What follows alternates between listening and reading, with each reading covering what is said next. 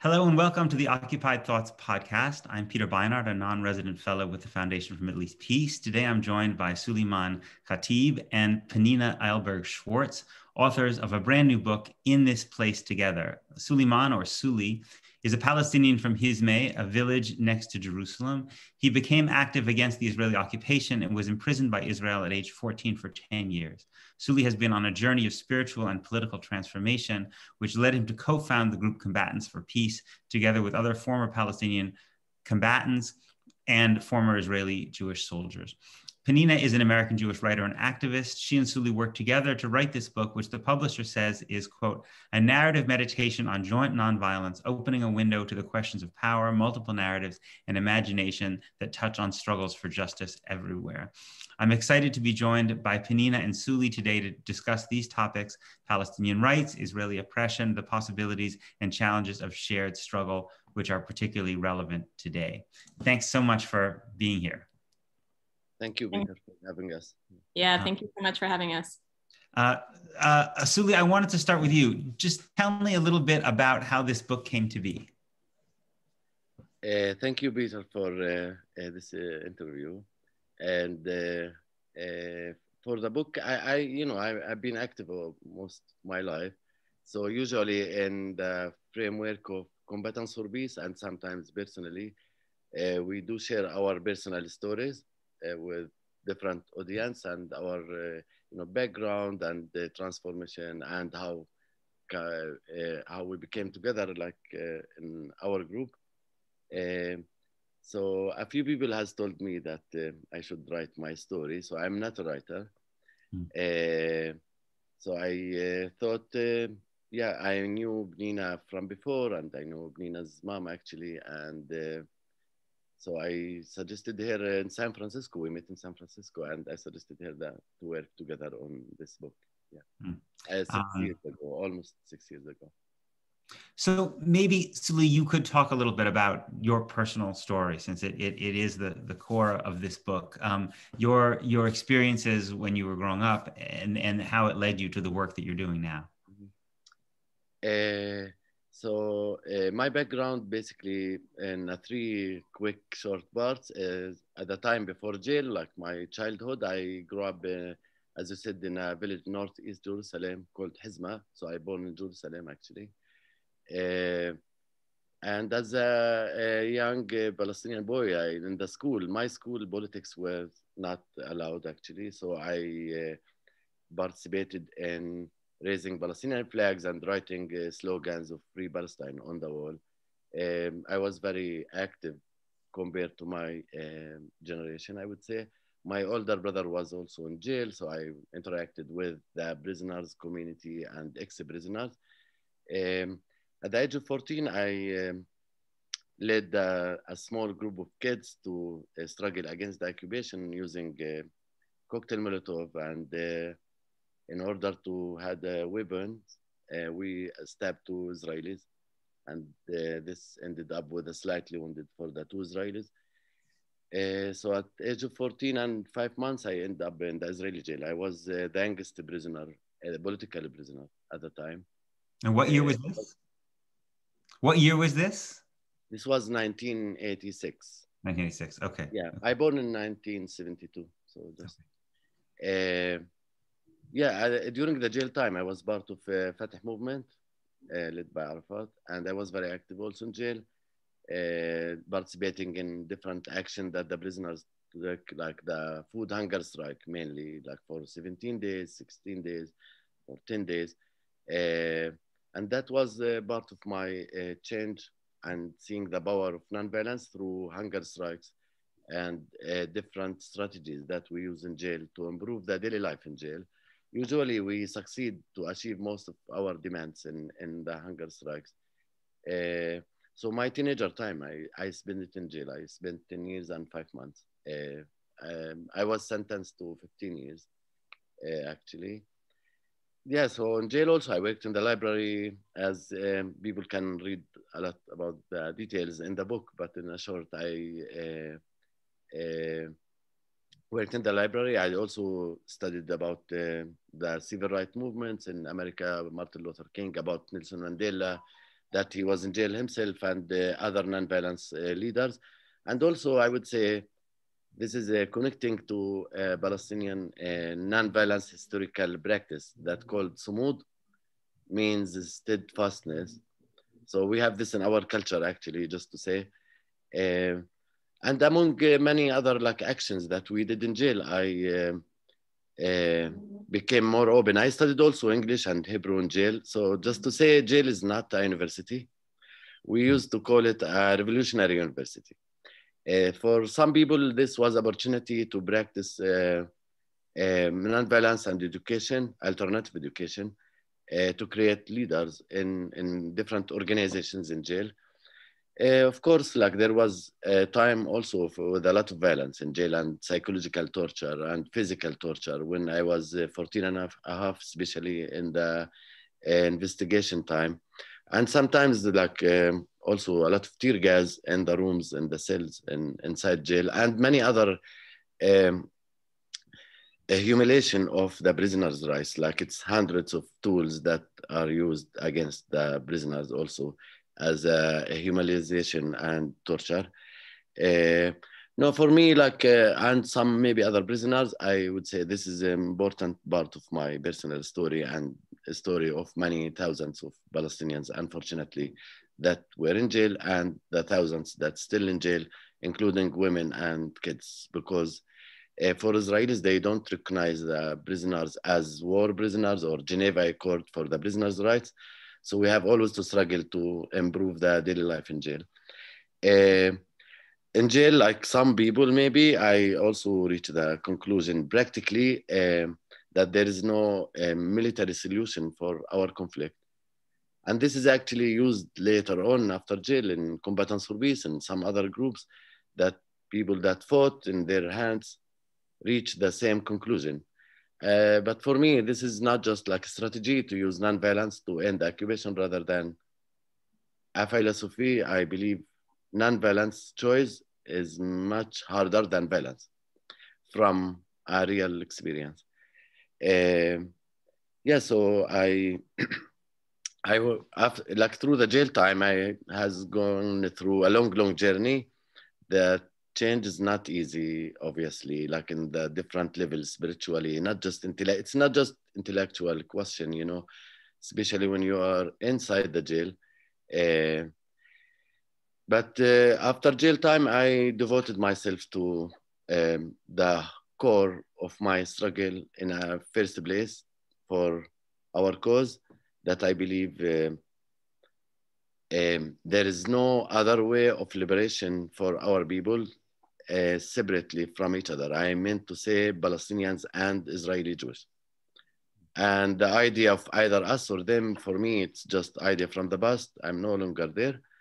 And I searched for, uh, in the second Intifada, after my uh, release, I searched also for uh, uh, Palestinians and Israeli partners. And that's how we came to create Combatants for Peace. The founders were Israeli, ex-Israeli officers and ex-Palestinian prisoners that reached the same conclusion from different places. Of course, I'm aware of the power dynamic and uh, uh, differences in both sides, let's say. Uh, but some, a few people have to find like a common ground and create a new story, let's say, uh, by sharing our personal stories and coming together. And um, that's how we created Combatants for Peace uh, almost 15 years ago. I maybe for the people don't know, there is a really interesting documentary about combatants for peace called Disturbing the Peace. And that describes the work of this organization. Oh, that's great. Um, so Penina, uh, how about you? How, how, did you come to, as an, as an American Jew, how did you come to um, uh, being part of, of telling Suli's story?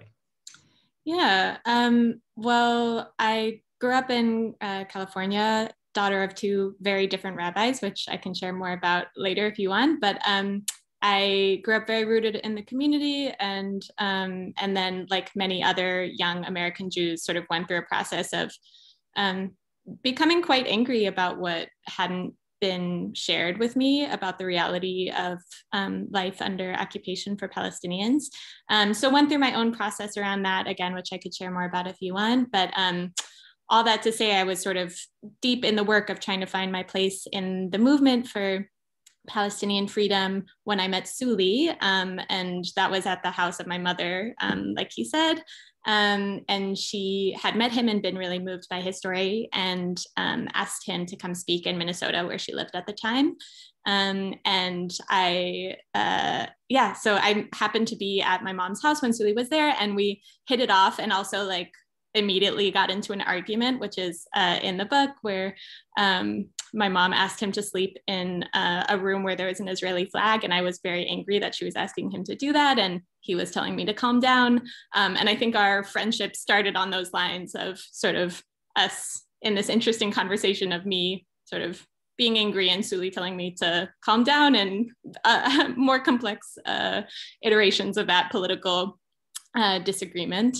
Um, and yeah, so we were friends for some time. And um, I think after that first meeting, Suli actually introduced me to my first job um, on Israel Palestine stuff, which was at a small organization called the Rebuilding Alliance. Um, I had worked at the New Israel Fund, was just sort of trying to find my place in the work. Um, and then uh, when Suli asked me to work on this, I actually, Suli, I think you asked me on Facebook a number of times before San Francisco, and I said no a number of times because I didn't quite understand what my position in relation to this work would be and, and why that would make sense. Um, but there was something about the moment in San Francisco when Suli came and asked me uh, again in person to work on the book that made me sort of see a pathway for this and why it would make sense for me to be a part of it. Um, and I think there were two pieces of that. One, I had really seen um, over the years the way that um, Suli's story and his way of uh, using language and uh, on all levels um, has been and continues to be really powerful tool for um, sort of piercing through the barrier that can um, be present, especially for American Jews, who I think are um, tend to be on guard when listening to Palestinian stories. And I thought that there was something really powerful about that. There could be something really powerful about amplifying that story through a book. Um, and then I also, you know, through talking with Suli that day in San Francisco and understanding what his interest in my um, sort of presence in the book would be, uh, I also became interested in um, this idea of using the book. I wasn't quite sure in what way yet to um, as an example of joint work. So like really investigating what does it mean to to make this book about joint work in a joint situation where Suli and I are coming from positions of really um, large power differential. Me as a white uh, American Jew, uh, Suli as a Palestinian living under occupation. There are other axes of power at play as well, like gender, um, and sort of trying to figure out like how can we, you know, in addition to the main goal of the book, which was to share Suli's story and his vision and the stories of many other people who shaped him, to how to use the book to, with a secondary purpose as well, um, as a way to uh, explore what it means to work um, across difference um, and what that says about the outside world, um, this, the systems of power we're living under, um, and how we might use those lessons uh, in our struggles for justice. So yeah. Um, that's great. Um, so I wanted to pick up on that point. Um, uh, you know, there is a Palestinian campaign, um, an anti-normalization campaign um, about uh, against working with Israelis in contexts which would not be directly in in support of ending uh, uh Palestinian oppression. And and um, you yourself, right? You you talk in the book about you know, ac- you know, concerns that you might have had about accusations made against you because of your work with Israelis, um, that maybe you're even a spy. So I wanted just to ask you how you how you think about this this subject, given given the power dynamics and given the debate that exists uh, among Palestinians on this question. Uh, yeah, thank you, Peter. This is uh, like a, a, question that we live with for years, and uh, so let me say this that in the context of the anti-normalization thing, I am aware this is um, uh, the ideas that we are talking about are not a mainstream ideas, neither in the Palestinian side, neither in the Israeli side. So obviously, with all the pain and the history and the, the, the trauma and the suffering and living under the occupation, of course, people are, um, many people are not ready to, let's say, work with the other side. Uh, and we know this from South Africa experience, from Ireland, from other places. And even the word normalization exists in South African language, uh, the local language, I forget the word, because in Arabic we call it uh, and in North Ireland, in Ireland, in both sides. So I'm really uh, aware since I started reaching out to the other side uh, that there will be a price for that socially.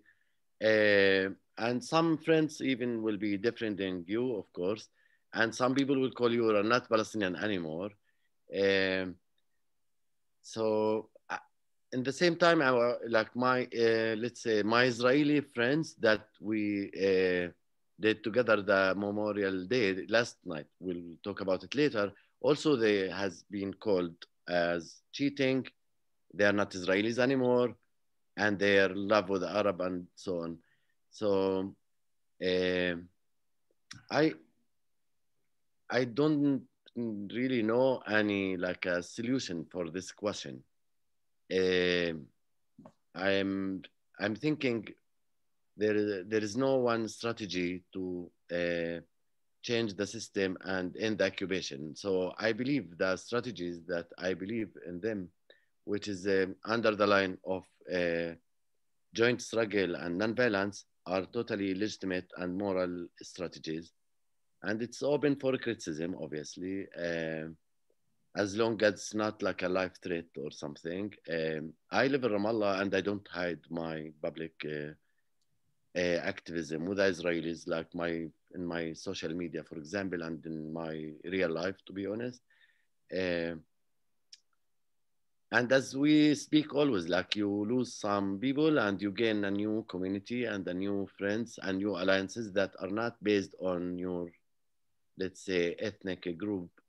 Uh, and i i never uh, like sometimes i got criticism of course like personally or our organization of course. Like even yesterday i looked at the memorial day uh, the joint memorial uh, event in arabic because we had a page in Arabic.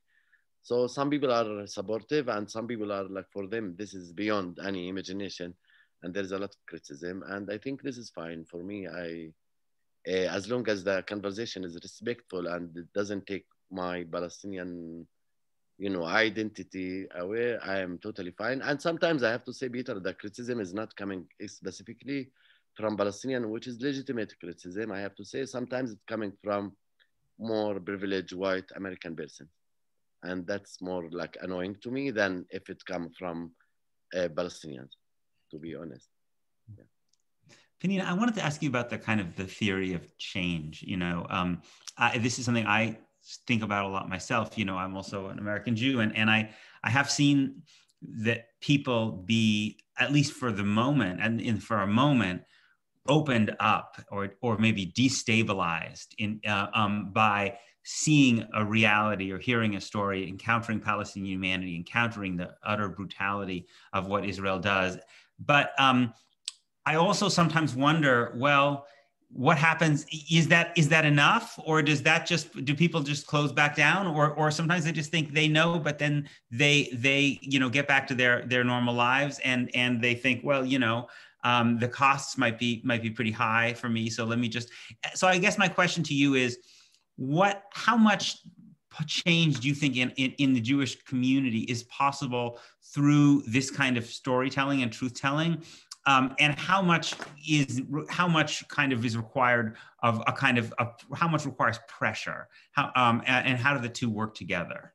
Yeah. But nonviolent pressure obviously. Good totally. Um, yeah i don't think it's enough like mm-hmm. at all, no mm-hmm. question. Um, and I think actually when I entered the book, I mm-hmm. think I was more suspicious of the sort of heart opening storytelling thing than I am now.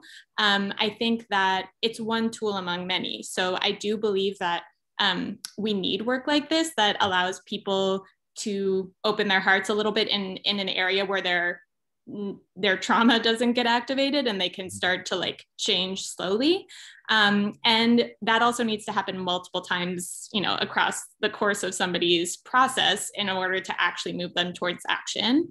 Um, and i think we also need the pressure as you said. I mean we need direct action. We need people to be challenged directly. And i believe actually like you said at the end of the, your question that those strategies really support each other. Um, and so we need, you know, we need JVP and we need uh, uh, International Jewish Anti-Zionist Network and we need J Street and we need Combatants for Peace and we need storytelling.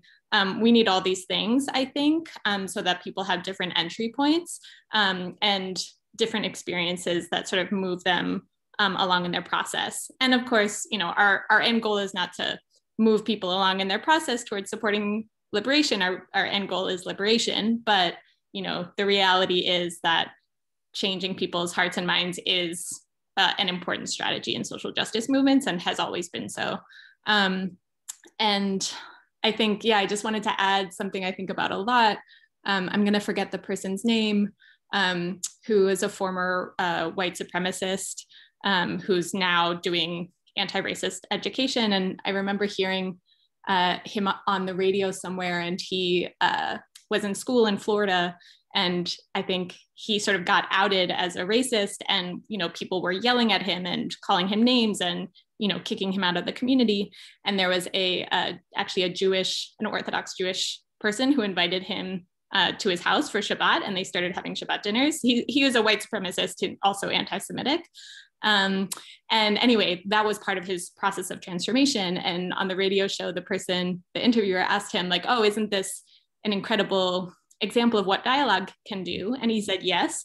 And also, I don't think that that gesture of this person opening their home to me would have been would have meant the same thing without the context of the pressure of the people calling me names.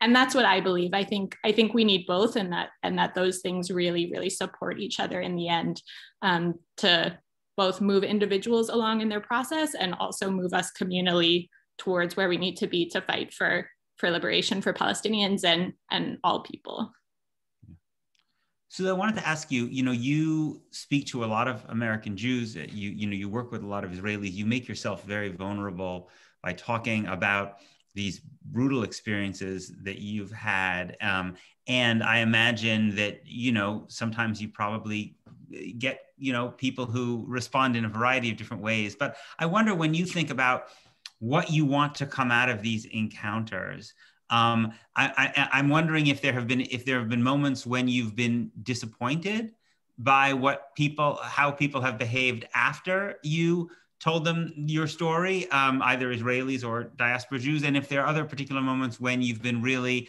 gratified, you know, by things that you've seen that people have done after after after experiencing what you've gone through. Um, honestly, my, my real experience with uh, encounters and talking to uh, like specifically Israelis or American Jews in generally, um, I have to say, firstly, not everybody is willing to listen to people like my, myself.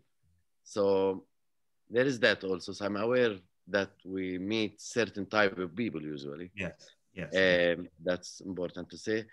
Um, and second, I want to say like, in my experience, like ch- change, there is no one way to change people's heart or soften their hearts. There is, and it can take time. Uh, sometimes it's in one meeting. It happened with me, like uh, let's say with Encounter, where I meet a group of uh, American Jews usually, and twice they brought Israelis to Ramallah, which is important to break also the fear and the uh, psychological barriers uh, to meet in a nice place in Ramallah. Um, I mean, uh, um, like usually I, I think because we are talking about personal stories, I feel more openness in the eyes of, of the people that I meet.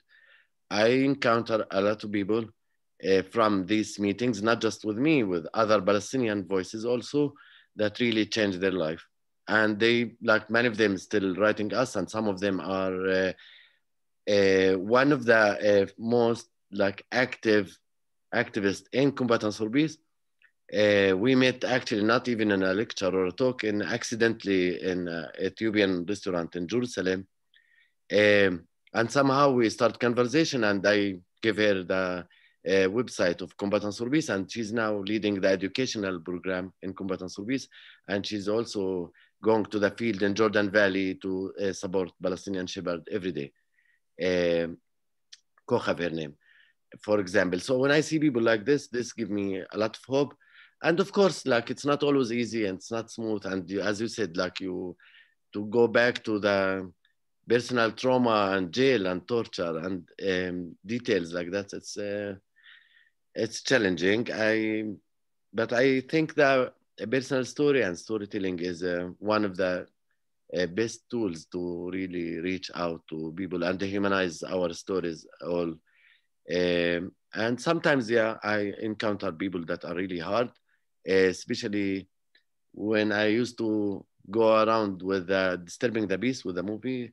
Mm-hmm. Um, yeah, I, I, met some people like uh, one Israeli man that he couldn't sit in the movie uh, watching, and he told me that he killed people in his hand and he left the house where we screened the movie and then we supposed to talk me and one of the uh, my friends from combatants for peace cats yeah there's like heavy moments happening sometimes. Also we bought the movie in ramallah and a few people left uh, before they uh, at the beginning of the movie because they they couldn't sit on the table. They thought this is a zionist narrative here. Uh, so there is like moments like this. Even in, uh, I can tell you, I we also screened the movie in the Museum of Tolerance in Los Angeles. I was surprised, like one woman like was shouting there and said, "There is no Palestinian people. This these people doesn't exist." So I was there with the uh, producer of the movie, Steve Apkon, and uh, Marcina Hale, and Jamil, and uh, other uh, Asaf, I believe, a few of us there yeah, we were really calm and uh, yeah, so I just have to use sarcasm. I told her, yes, we didn't exist ever. We, me and Jamil just came from the sky right now. we never exist. So of course we encounter a lot of reactions.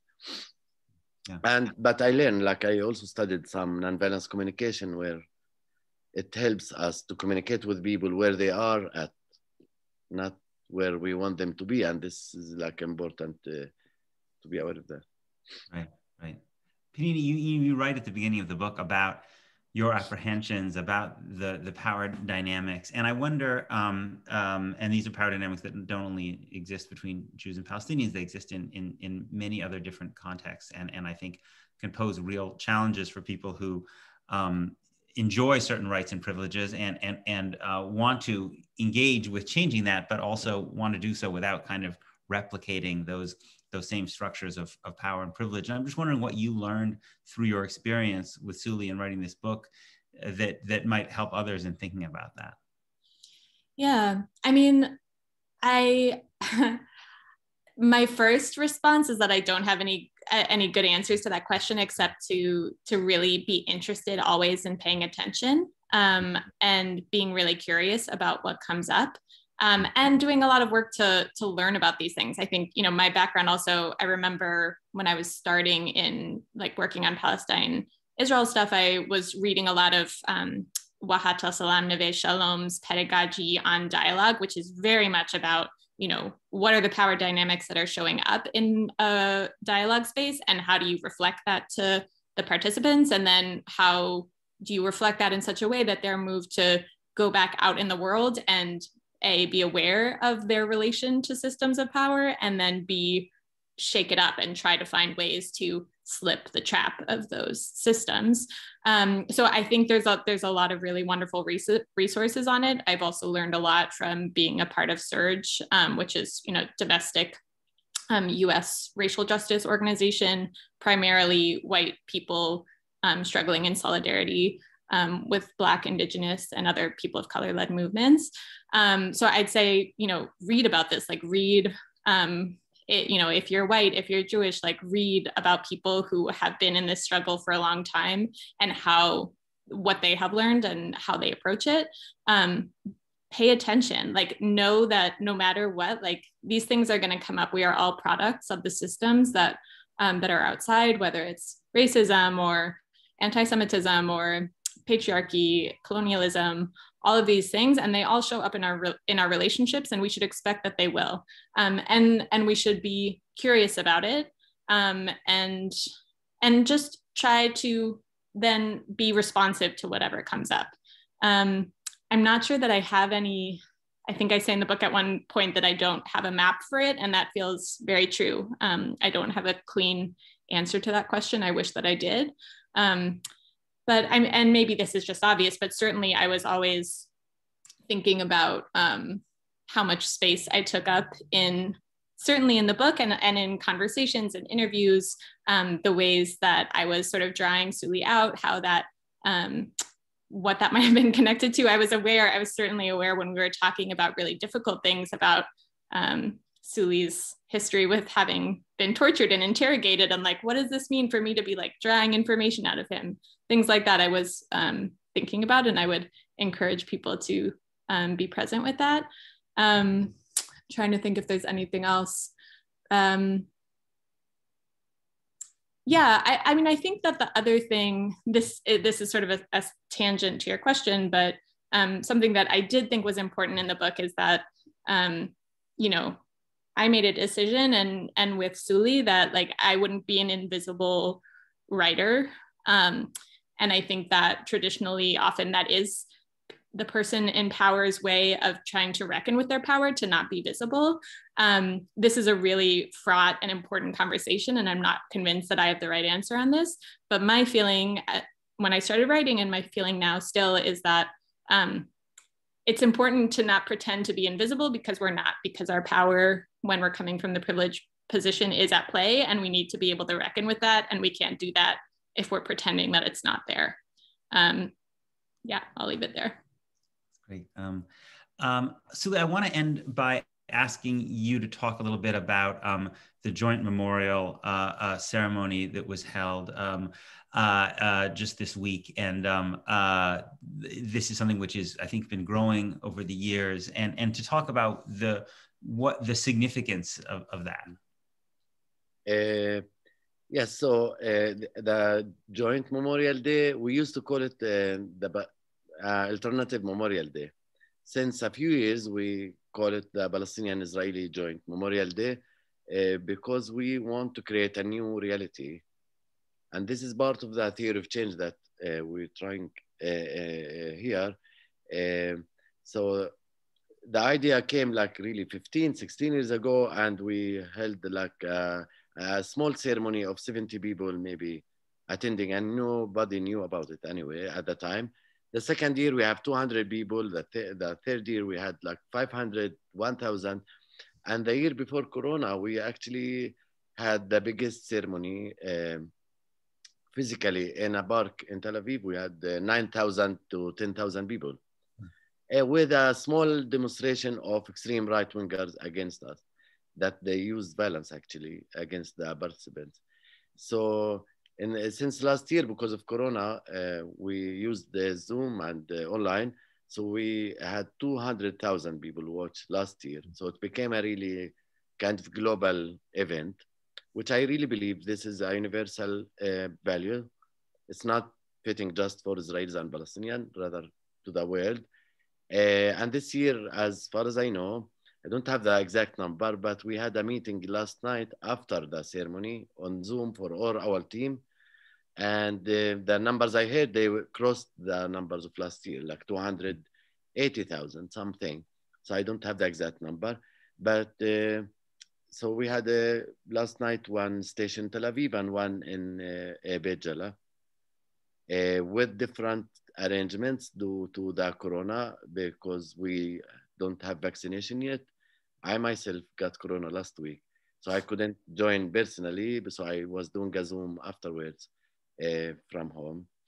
Um, I think this is like a proof of many things. Like one, that small group of people really can uh, participate in this change making.